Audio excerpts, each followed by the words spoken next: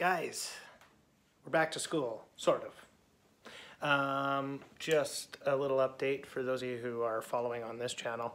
Uh, hopefully you've received a bunch of emails or your parents have received a bunch of emails in the last few days um, that are kind of detailing some of the things that are going on with school over the next uh, little bit.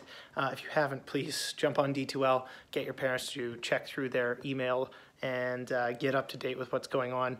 Um, again, if those of you who haven't uh, heard, we do have a Google Meetup today. Um, to participate in that, you're either going to need a laptop that has a camera and a microphone, or you're going to need a uh, smartphone with the Google Meet app uh, loaded onto it.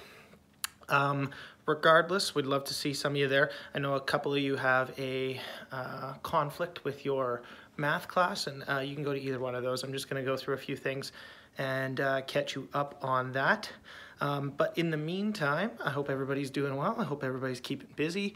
Uh, I've got some work from some of you, so uh, if uh, you haven't got that work in, uh, it would be great if you could get on that. Uh, again, everything is on D2L, including uh, the web link for the Google Meetup. You click on that, and you should be able to join in. Um, do you have anything to add? it would appear that he does not. So that must mean I have covered everything. Guys, stay healthy, stay connected. Uh, hope to chat with some of you later today.